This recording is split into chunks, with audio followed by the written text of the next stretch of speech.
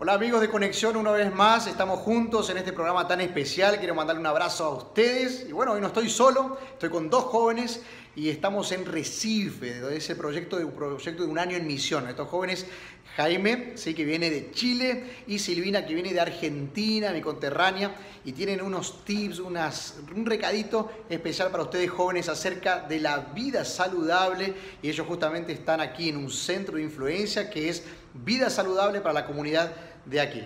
Jóvenes, vamos a darle un recadito a, los que están hablando ahí, mirando por el otro lado. Sí, bien. Hola a todos. Bueno, uno de los consejos que yo puedo dar es para mantenerse saludable siempre estar contento, alegre, transmitir esa alegría para los demás, porque así si mantenemos saludable nuestra mente, nuestro cuerpo también se va a sentir mucho mejor y más agradable para las personas también. Otro consejo que les podemos dar es que no tengas fiaca, que te animes y que salgas a hacer una, una caminada, una caminata de vez en cuando y eso ayuda mucho a tu cuerpo y también te ayuda a desestresarte.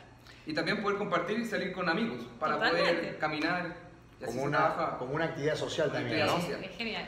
Justamente conservar el cuerpo, la mente conectada te hace un mejor estudiante, un mejor profesional y también tener mejores relacionamientos. Estamos leyendo la Biblia, por ejemplo, todos los días y ayer era un capítulo muy importante de Daniel, capítulo 1, y habla justamente también acerca de la, de la salud, de, de tener pensamientos puros y bueno, queremos dejarte este consejo, este ánimo para que puedas tener una vida próspera puedas colocar tu corazón en armonía con el Señor, pero una salud también física y espiritual este, noble y dedicada también al Señor. Como estos dos jóvenes que son misioneros, están aquí en Recife, dedicando un año de sus vidas en misión y ayudando para que otras personas también conozcan a Cristo a través del Ministerio de la Salud y a través de la alegría, como los jóvenes son.